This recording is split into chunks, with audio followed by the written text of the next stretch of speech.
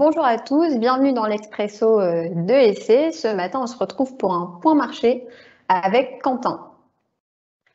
Bonjour Quentin, merci d'être avec nous ce matin. Euh, ce point marché, il arrive finalement à mi-année et il s'est passé beaucoup de choses euh, depuis, depuis début 2021. Confinement, déconfinement, reprise économique, campagne de vaccination beaucoup d'informations qui sont venues impacter les marchés. Aujourd'hui, on est sur de la vaccination en masse. Même les plus jeunes y ont accès. La vie reprend, réouverture de quasi euh, tous les commerces et établissements, retour au bureau, reprise euh, économique des transports aériens.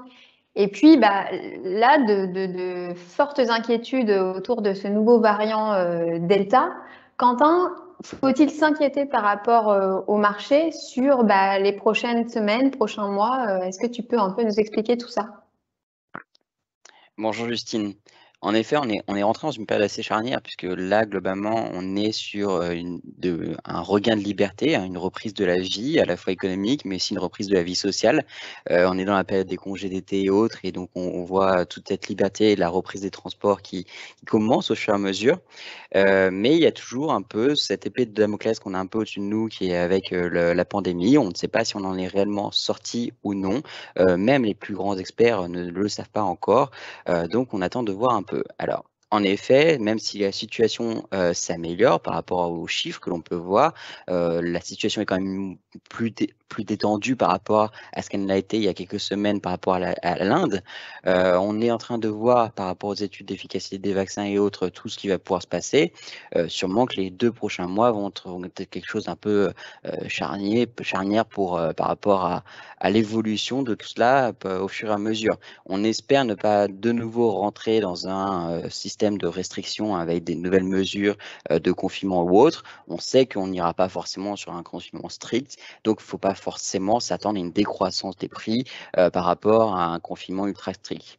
Après, il y a tout l'environnement euh, macroéconomique où là, on voit qu'il y a quelques soubresauts à droite à gauche. On n'est plus dans cette euphorie des marchés qu'on a pu connaître du coup fin d'année 2020, début 2021. les, indices boursiers se quasi stabilisent. Alors, encore un peu de sur, les indices américains, parce que bon, on a les effets des plans de relance qui se lancent au fur et à mesure, euh, mais globalement, on est quand même euh, sur, euh, sur, des, seuils où, du coup, on regarde un peu ce qui se passe, on suit les décisions de la Fed, de la Banque monétaire mondiale, du FMI et autres, pour pouvoir trouver des, comprendre l'évolution, entre guillemets, de ce qui pourrait se passer dans les prochains mois, vu tout ce qui a été injecté dans l'économie. Donc, sûrement qu'on aura peut-être la, de la volatilité. Pour l'instant, la pandémie ne reprend pas le dessus en termes de facteurs directs d'évolution sur les prix des marchés.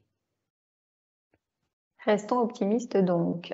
Je te propose qu'on regarde ce qui se passe sur le marché du gaz, euh, un marché relativement tendu. Euh, on l'avait vu, mais la demande de GNL en Asie explose et cela continue d'impacter euh, la reconstitution de nos stockages.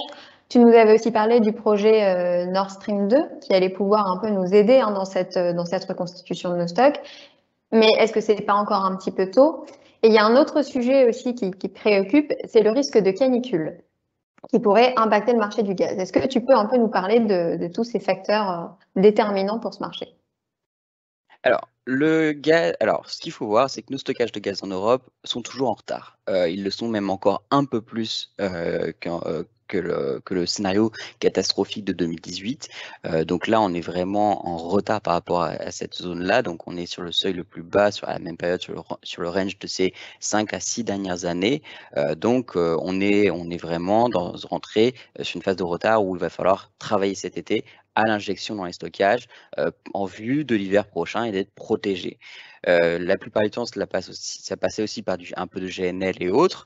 Euh, alors ici, il faut bien voir, c'est qu'à la même période l'année dernière, on commence déjà à avoir des faiblesses par rapport au GNL, euh, puisque avec les prix qui étaient tellement bas, on avait plus de cargaisons qui étaient livrées, par exemple, de la part des États-Unis ou autres. Là, actuellement, les prix sont très élevés, mais c'est l'Asie qui capte la plupart des cargaisons, qui sont prêts à mettre le prix le plus fort au niveau des acteurs asiatiques, la Chine, le Japon.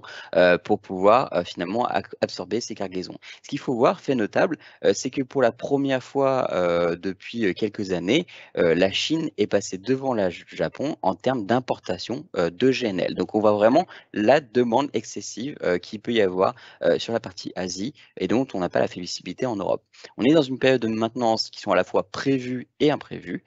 dans ce contexte-là, les flux continentaux bah, peuvent varier, donc en fait on a un peu plus de difficultés à pouvoir justement continuer d'injecter. donc c'est un peu, un peu encore, si je puis dire, tendu. du. À cela s'ajoute, comme tu le disais, euh, le risque de canicule. On l'a déjà évoqué euh, dans, les, dans les expressos précédents. Euh, c'est un risque que l'on voit de, maintenant un peu plus présent chaque année. pour l'instant, on ne s'attend pas forcément à une canicule sur l'Europe de l'Ouest, mais pour l'instant sur l'Europe de l'Est. plusieurs, secteurs, plusieurs acteurs du secteur agronome nous, ont un peu parlé. On voit déjà des, températures assez élevées côté de la, la Pologne ou autre.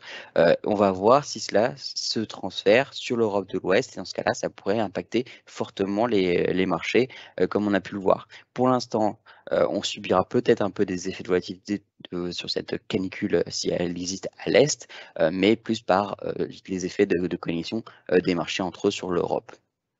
Donc, je pense que ces deux prochains mois vont être un peu tendus pour le marché du gaz cet été. Dernier élément, tu, nous, tu, évoquais Nord Stream 2, on l'avait déjà évoqué aussi euh, sur le fait qu'il y avait des levées de sanctions qui étaient prévues de la part de l'administration Biden euh, sur les constructeurs euh, qui devaient finaliser finalement ce, gazoduc en mer du Nord.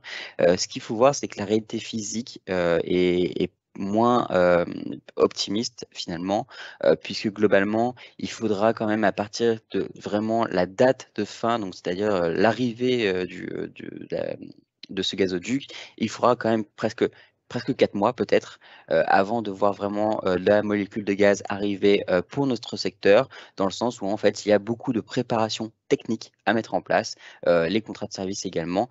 donc c'est un, on l'attend potentiellement peut-être pour la fin d'année, plus probablement peut-être pour le début d'année prochaine, mais les annonces pourraient déjà créer un peu de volatilité sur le marché et détendre un peu les esprits par rapport à tout ça. Quentin, on observe aussi sur le marché de gros écarts euh, de prix entre les prix spot et les prix calendaires. Est-ce que c'est lié à ces tensions sur le marché? En effet, euh, en effet, le, spot de gaz est en train euh, d'exploser, littéralement exploser, si je puis dire. Euh, il a quasiment doublé depuis le début de l'année. On a actuellement presque 10 euros d'écart entre les prix calendaires et les prix spot daily, si je puis dire. donc les prix de livraison du jour pour le lendemain versus les prix de l'année prochaine. Donc ça matérialise réellement sur cette courbe de prix les tensions qu'il peut y avoir actuellement sur la nécessité de consommer du gaz pour l'activité pour, industrielle et la production d'électricité vis-à-vis de l'ingestion dans les stockages. Donc, ça matérialise le fait aussi que c'est un caractère assez éphémère et que cela pourrait se résorber par la suite. Merci Quentin.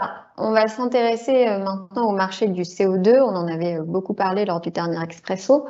Le 14 juillet prochain, la Commission européenne va présenter son plan euh, pour 2030 avec notamment le paquet euh, Fit for 55, l'ajustement à l'objectif 55 euh, qui vise à réduire en fait les, émissions de CO2 d'au moins 50% d'ici à 2030. On avait du coup assisté à une envolée des prix du CO2, puis ça s'était un petit peu stabilisé.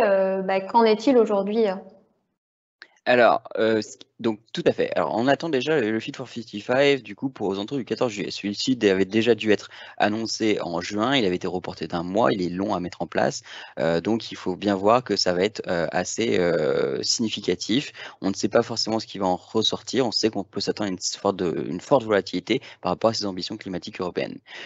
également, le CO2 lui a repris un peu de sa volatilité depuis sa chute de la mi-mai, dans le sens où en fait bah, là on a brûlé pas mal de gaz pour pouvoir produire de l'électricité et autres, par rapport à ces effets de canicule, le CO2 réagit un peu plus, euh, alors un peu moins par rapport à la spéculation, mais plus par rapport aux fondamentaux du marché gazier qui drive énormément le marché actuellement. Donc le Fit for 55, deadline le 14 juillet, on va avoir euh, ce qui pourra sortir euh, au niveau de, de ce marché-là et de la volatilité que cela impactera. Le marché de l'électricité, du, coup, euh, suit un peu ces tendances et, est très volatile. Euh, est-ce qu'on a quelques actualités ou des informations Alors complètement. Qui l'impactent également? Complètement, le, marché actuellement de, du power suit les traces, alors principalement du gaz et ensuite un peu de la volatilité du CO2 au fur et à mesure où celle-ci évolue au fil du temps. donc là, globalement, l'électricité dans les traces du gaz au fur et à mesure que le temps passe. Merci Quentin. Et pour terminer, j'aimerais qu'on commente un peu, s'est déroulé le forum Europe Énergie la semaine dernière. Euh, où tout un tas de sujets étaient euh, abordés et euh, notamment la question de comment réagir à l'envolée des prix. on ne va pas pouvoir traiter la question ce matin dans sa globalité, mais moi j'aimerais qu'on souligne le fait qu'en tant que client, il faut savoir appréhender ces marchés tendus. Tu, viens d'en parler, hein, savoir prendre des décisions et j'aimerais qu'on parle de l'importance d'être bien accompagné et notamment par son fournisseur.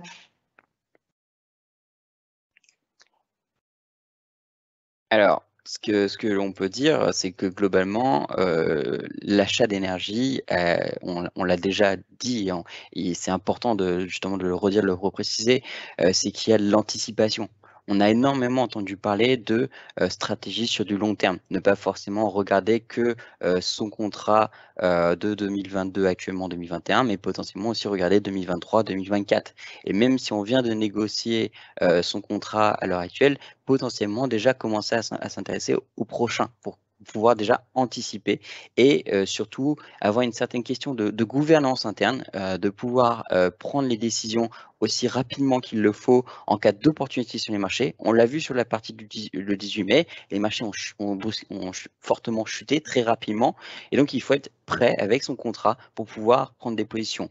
Les stratégies d'achat, euh, elles se mettent en place au fur et à mesure.